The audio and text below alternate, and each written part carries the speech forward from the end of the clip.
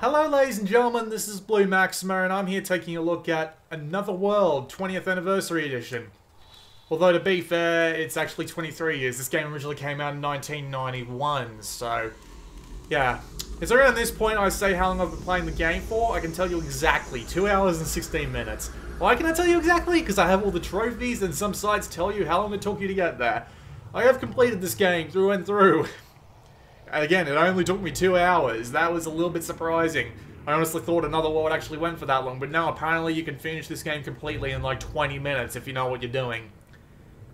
That is, to, that is to say that the game really isn't that short. It's more like a, um, hmm, how do I put this? It's got a fair few hours in it, purely by the idea of replayability. I eventually looked up a guide and by replayability, I mean how long it takes you to finish the game normally. I originally looked up a guide to get through some of it because one of the puzzles at the very end is a bastard because it doesn't give you any clear signal on how to actually finish it. The rest to do, there's this one that doesn't. So I've got to be careful, since I actually know the entire game, considering I only played it a couple of hours ago, I've got to be careful not to actually play through it all in one go. So let's jump straight to Arrival, shall we?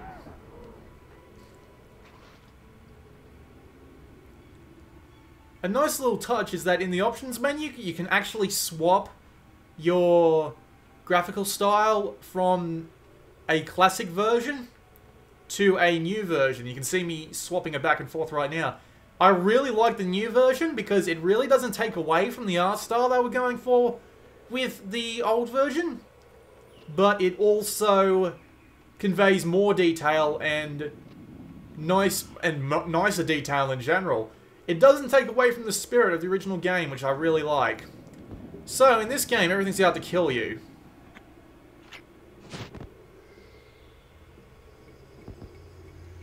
Yeah.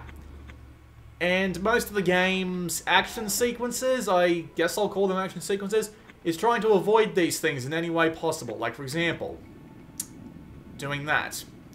Occasionally, you'll come across things like this, which will send you right back the way you came and one of them got me. The main time spent replaying this game is replaying the action sequences, because this game handles like a game from 1991, right?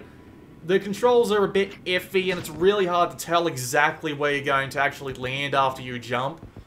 And in order to actually jump, to do a good forward jump, you actually have to sprint, and it's kind of hard to tell.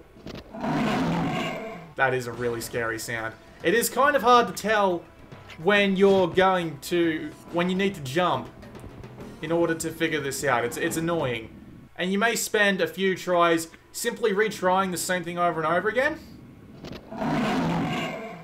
And sometimes when you're, sometimes when you're playing this, you'll go what appears to be a few sections forward, but then you'll keep getting thrown back. It's kind of hard to figure out why you get thrown back so far a lot of the time. There is a reason for it, though. I have actually figured this out. It's mainly because you you miss something. If you keep getting thrown back what feels like really far, like more than one action sequence, you've probably gone and missed something. So you probably just want to be... You just you probably just want to go back and god damn it. You probably just want to go back and make sure that you didn't actually miss anything. And as you can see here, I've been thrown back to the start of this action sequence, and I'm not going to play that again, so we'll just skip to the next sequence. This game does let you skip back and forth, but to be fair, this game isn't very replayable. It's a one-trick pony sort of thing. There are some hidden trophies to go for, but some of them... Some of them are easy, some of them you'll need a guide for. Like, there was this one trophy called Cowboy, where you can only achieve it by coming in a room from a certain way, which is really not the way you expect you need to go in. It's kind of annoying. There's also a couple of hidden trophies, some of which you'll get really easily for some reason, and some of which will just... Yeah. Um, by the way, if you're in the if you're in the classic gameplay mode, the frame rate will actually slow down, but if you put it on the on the newer graphics, it'll be a very smooth game. I don't know what the deal is with that. I wonder why they couldn't make the old stuff smoother. Whoops. Oh, I have to go through this shit again. This is a game about retrying and retrying a lot to figure out what you need to do. I'm going to do you a favor and save you the idea of a... and save you the time trying to figure out what you need to do in one specific area of the game. When you come to the top of the stairs and find a guy who rolls grenades down the stairs, let him roll four down the stairs. Trust me, that'll open up the next area. Now, throughout the game, you also get this gun. This gun is a very interesting... Ow. Screw it. We'll skip to the next bit. I'm not one to waste your time. So throughout the game, you'll get this gun, right? This gun can actually do several things. One of the things it can do is obviously shoot, but if you hold it in for just long enough, it'll put out a shield.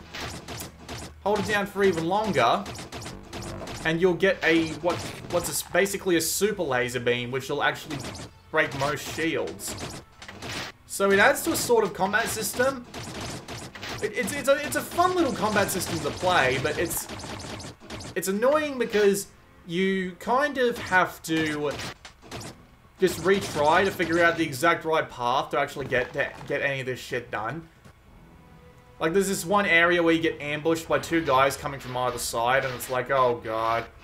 And you have to be planting shields down before you know they're coming, and there's a bunch of things like that that happen, where you don't know what's coming, but you kind of have to... But you kind of have... Yeah, you have to be ready for it anyway. There's a couple other things too, like... The game does actually keep you on the straight and narrow, though. There's no way to outright fail this game entirely. So you can't get yourself killed by forgetting an item, which Delphine Software are actually fairly known for. There was also some stuff along the lines of, um... Oh, well, there's not really that much else to talk about, really. It's, it, again, it just takes a while. There are some puzzles that aren't immediately obvious. Sometimes you have to do stuff that you're really not expecting to need to do. Was it, was it here? Yeah, it was. Sometimes you have to do stuff you weren't exactly expecting you'd need to do in order to finish the puzzles. It's a little bit odd, and thankfully the game's not that egregious. It's mainly... Oh yeah, I gotta run from this, don't I? It's usually not that egregious. Again, other than that one area with the grenade Grenadier, I probably could have figured out this game by myself. But it's relatively unnecessary.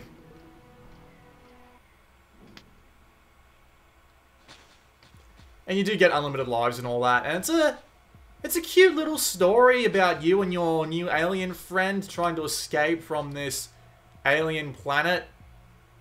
It's a... Whoops. It is a bit of a dull ending though, but... It's an alright story, it's an alright journey. I wish some sequences were slightly easier, or at least if there was a little bit more signaling to how the checkpoints work originally. Because I have a lot of trouble trying to remember where the checkpoints are and all that.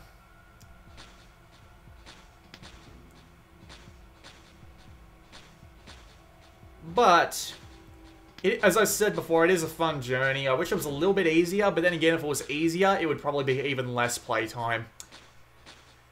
And it looks great, and it sounds great. There is an option to actually use both remastered sound, the original sound, and the original sound with CD audio, which I find to be a bit odd. You don't usually hear that these days, do you? CD audio. This is a fun game, though. I will admit that. It is a fun, fun little game.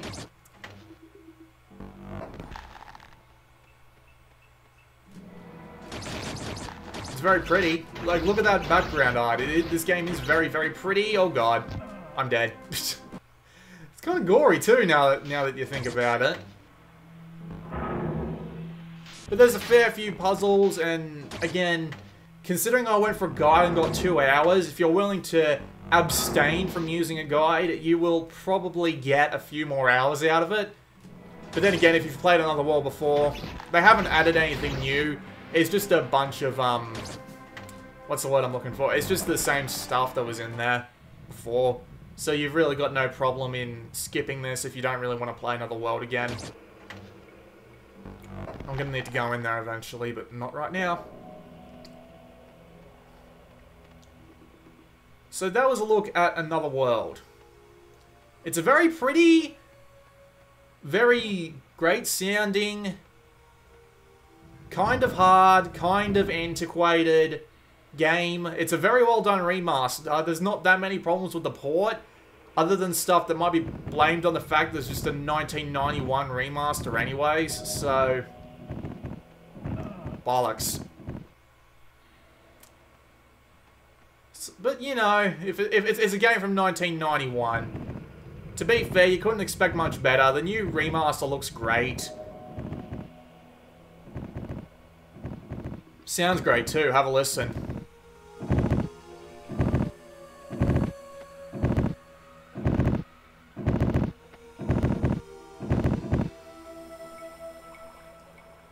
There are some other really good soundtracks in here as well. I can see this why this game was called a classic back in... Jesus Christ. I can see why this game was called a classic back in 1991. In 2014, it is a bit, as I said before, it's a bit antiquated, but I don't have a problem with, it, with its existence. They've done the port well enough to make me say, you know, if, you, if you're ever curious and you want to spend a few hours in 90s puzzle game heaven, I can't really say anything against this. Jesus. I can't really say anything against Another World 20th Anniversary Edition. And the cool thing is, right now it's actually $8. It'll go up to 10 after the launch week discount. But for a few hours of puzzling, $8 would be great. You might get a little bit frustrated with the controls. Sometimes they take a bit to get around. There are very frequent checkpoints, but again, if you miss something important, you might be stuck wondering, alright, what the hell am I doing wrong, wrong right now? I'll go do one more scene, and then we'll call it. Alright, we'll go from here. We'll show off the... This is like where I spent half my game time, because... As I said before, I got stuck on figuring out where the checkpoints were, so I ended up playing this, this one scene over and over again, so we'll see if I can pull it off first try. Very pretty. Very, very pretty.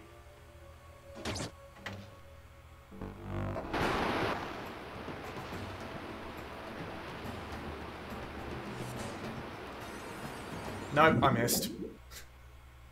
Funny little picture there. We'll give it one more try.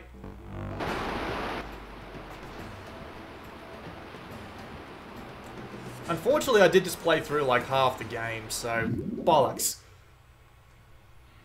One more. I did just kind of play through like half the game on camera, so you know. Oh, I missed it again. I have, I'm terrible with my timing, but anyway, one that was enough. That was a look at another world. It's pretty good. There are a couple of bullshit puzzle solutions, and the controls are a little bit antiquated, and sometimes you feel like you're fighting them as much as you're fighting the actual game enemies, but once you figure it out, it's a good little journey. Go, it's a little bit short, and eight bucks might be the maximum you want to pay for this, but still enjoyable nonetheless, and it's really nice to look at as well. This has been Blue Maxima, and I'll see you all next time.